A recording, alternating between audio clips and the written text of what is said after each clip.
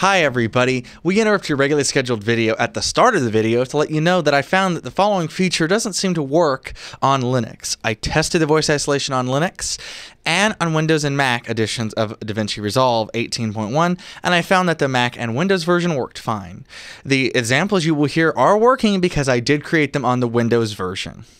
Thank you. Please enjoy our feature presentation. Hi everyone and welcome to today's video. Today, I wanted to talk to you about something that almost everybody, okay, maybe not everybody, but different people have talked about on YouTube already, and that's DaVinci Resolve's brand new feature they released just several days ago now, and that is the voice isolation feature.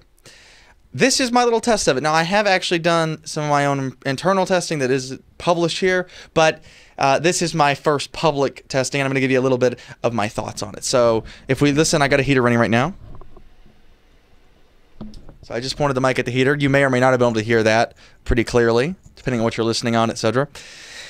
Right now, there is no noise reduction slash voice isolation on. I've got a mic recording on the camera and this Pure 40 mic that's recording me, so we can switch between them and see if it helps. Because I have a suspicion mic placement is very important here, and it will help us a lot. I have now switched to the microphone on the camera, so you can hear what the room sounds like. You probably can hear the heater better now.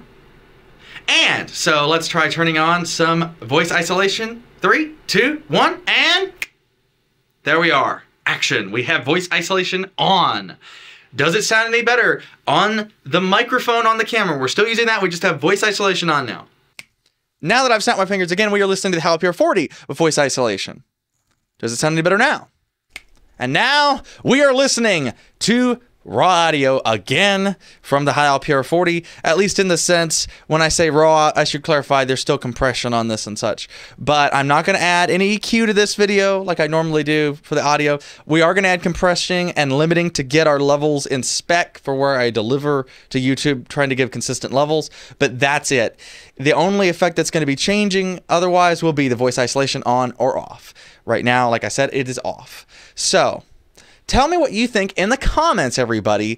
Do you think this is pretty good? I think that if you turn it down a little bit, just like most of the noise reduction I played with before, it starts to sound pretty good. You got to be careful with noise reduction in my experience. Granted, it's a limited experience, but I find that if you turn noise reduction up all the way, be it this software that I've already experimented with a little bit, the voice isolation feature in DaVinci Resolve, or noise reduction, DaVinci Resolve and other programs too.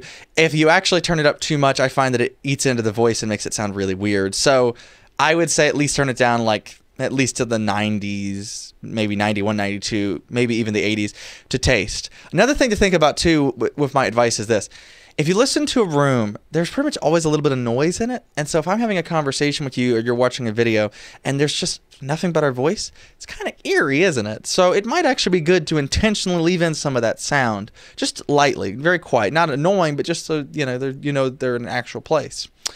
Another thing to think about too, I guess, with that, come to think of it, is I guess for a horror movie or something, you might actually want to really drain out all those sounds, and this that isolation could scare people, I suppose. anyway, you can turn this on in DaVinci Resolve if you'd like. Uh, you can do it in the Fairlight tab, the Cut tab, and the Edit tab, as I'm sure others have already explained. In the Fairlight tab, the tab I usually do all my audio mixing in, uh, you can go under there and you can enable it. I like to do it at the track level, uh, my sound mixing. So you can go under and the menus and enable track effects. When you do that, as you can see here on the screen, you'll get some new options down here on each of your tracks in your mixer. Then you can go ahead and enable your voice isolation right there. And it's that simple. Tweak to taste to try to make it sound good to your ears. And that's all.